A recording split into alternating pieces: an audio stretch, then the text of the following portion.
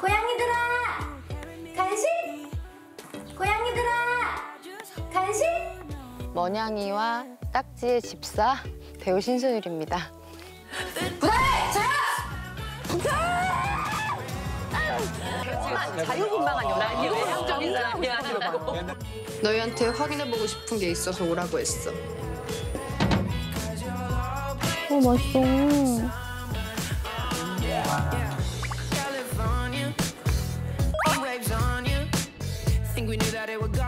머냥이를 만나게 된 계기가 좀 특이한데 드라마 촬영을 하는데 그때 거기 촬영 현장 장소에서 소품팀을 계속 따라다니는 고양이 한 마리가 있어서 근데 계속 그냥 걸어서 제 옆에 계속 누워있는 바람에 데리고 왔습니다.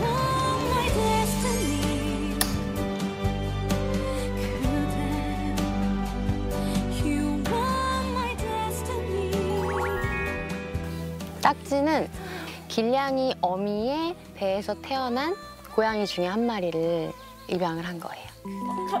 쭉 잡았다. 딱지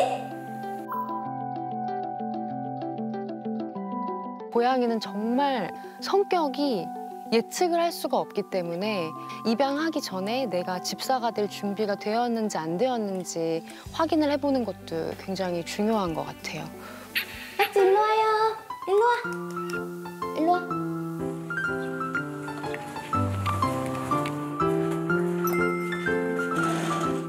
첫 번째, 익숙한 최추의 옷을 준비해 주세요.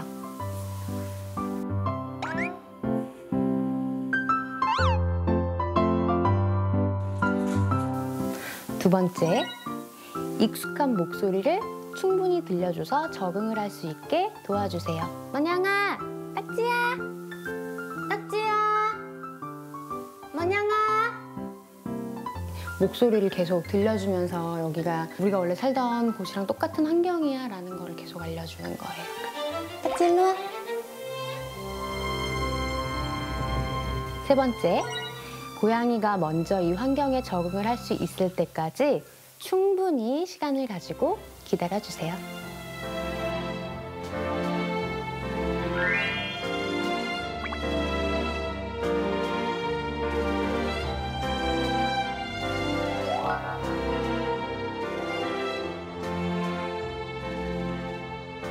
이건 모든 고양이마다 성격이 다르기 때문에 길고양이라고 다른 고양이가 사실은 아닌 거거든요. 조금만 기다려주고 마음의 문을 열면 같이 사는 훌륭한 반려동물이 될 수 있다는 사실을 꼭 알아주셨으면 좋겠습니다. 심장이 뛴다 38.5도 캠페인 길 위의 고양이들에게 안전한 집이 되어주세요.